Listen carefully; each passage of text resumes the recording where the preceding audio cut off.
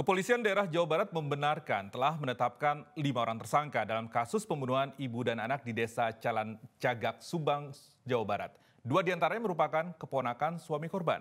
Saat ini kedua tersangka telah ditahan, sementara tiga lainnya masih dalam proses penyidikan.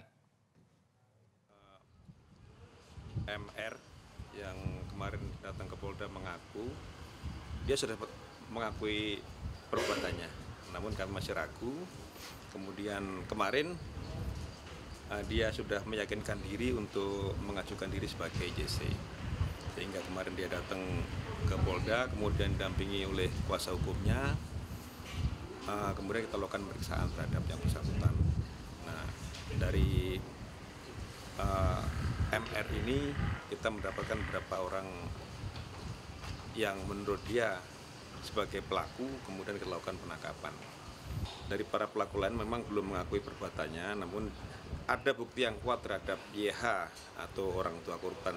Suami Ibu Tuti ini ada kita temukan bercak darah di bajunya, sehingga kita uh, kuat dugaan kita bahwa YH ini sebagai pelaku, sehingga kita lakukan penahanan bersama-sama dengan uh, MR.